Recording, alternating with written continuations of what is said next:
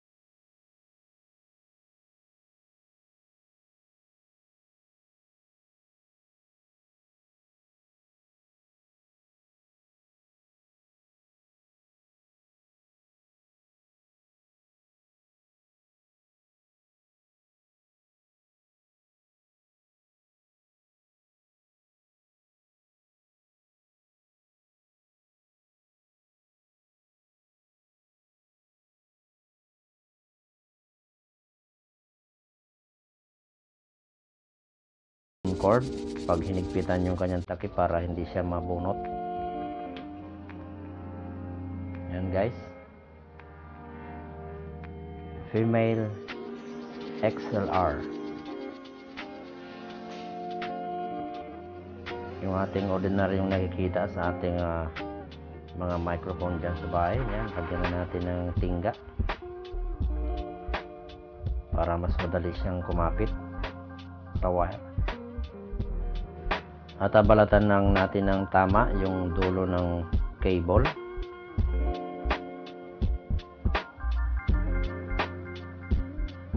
Dahan-dahanin lang natin para hindi maputol yung shield. Yan. Medyo baklasin natin yung kanyang wire na nasa pinakalabas.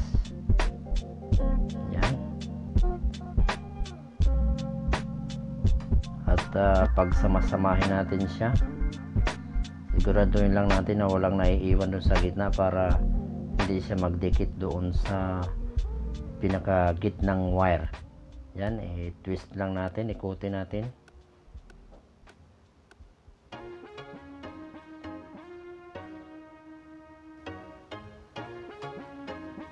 Yan.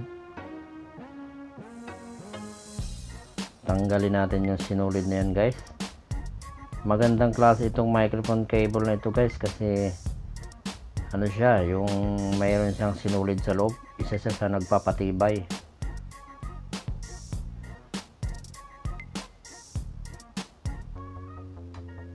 Yung cable na ito guys ay ah, ano siya balance. Ibig sabihin stereo siya. Meron siyang dalawang ah, linya sa loob bukod doon sa ground.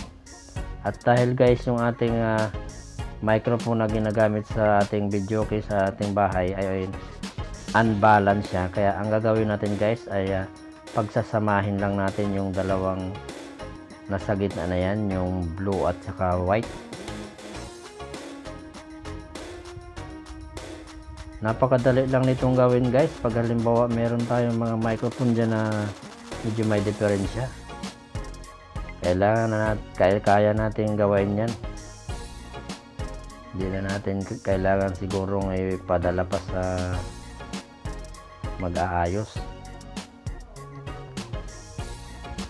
Yan pinagsama ko yung blue at white. At mas magiging matibay siya guys. Yung microphone cable na to guys ay matagal ko nang nagawa ito.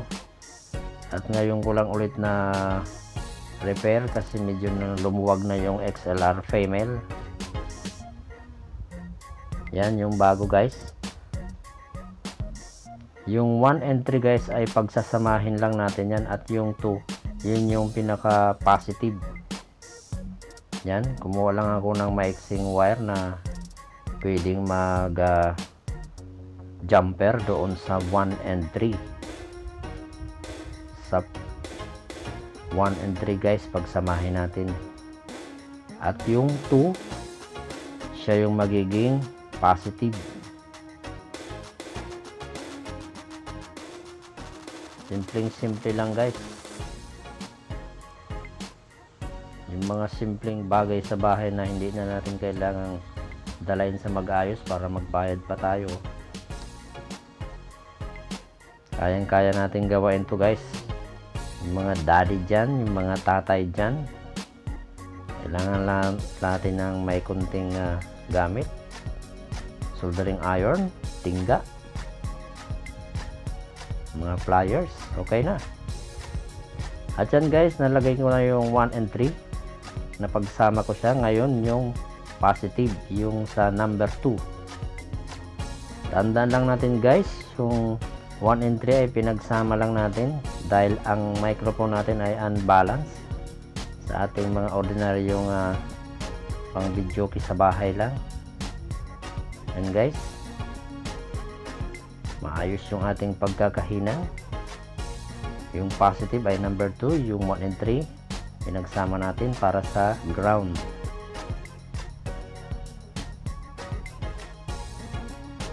Yan pasok natin yung clamp at bago yung kanyang takip.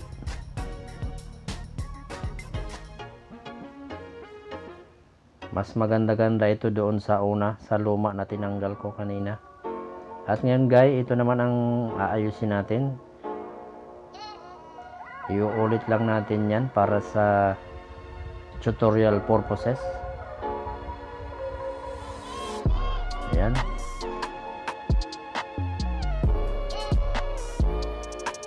dyan kasi guys sa malapit dyan parang uh, nagbulos din dyan. Na sobrang tagal na siguro niya. Kaya ihihinang natin ulit. Bali binawasan ko lang ng unti yung dulo pinutol natin para magkaroon ng panibagong hinang o connection napakasimple lang na, na napakasimple lang nito guys kayang kaya natin itong reference sa bahay. Lalo na ngayong uh, may pandemic tayo. Mahirap yung maglalabas para dalahin sa mga mag-aayos. Kaya mag DIY tayo. And guys tanggalin lang natin yung lumang tingga linisin natin ng konti yan magbalat ulit tayo ng tama lang sa haba. Ingatan lang natin na pag maputol yung wire sa loob yung kanyang ground ayan. Katulad doon sa XLR guys hawiin lang natin yung nakapaligid na wire dyan yung ground. Yan ipunin natin siya. Yan at ating pilipit para maganda. At syempre tanggalin ulit natin yung mga sinulit.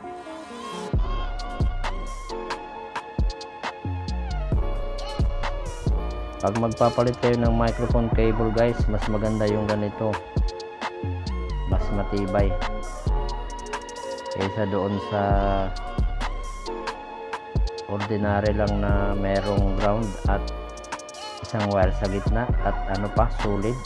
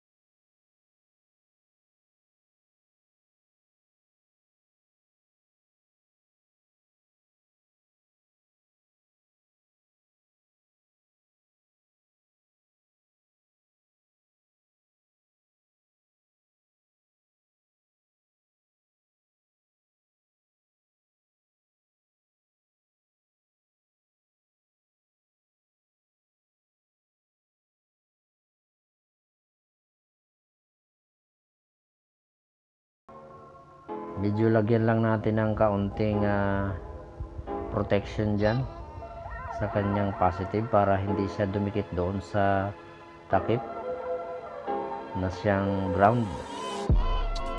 Yan.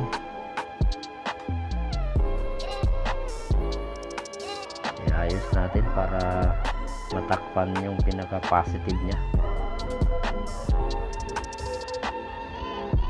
Bago natin takpan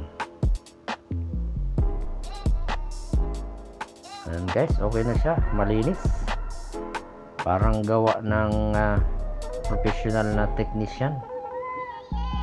Ayan guys.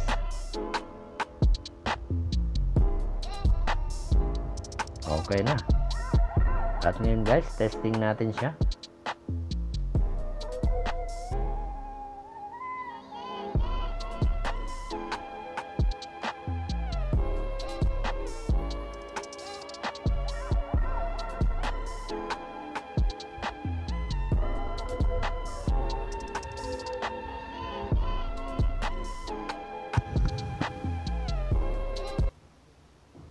Check mic one, two. Sound test.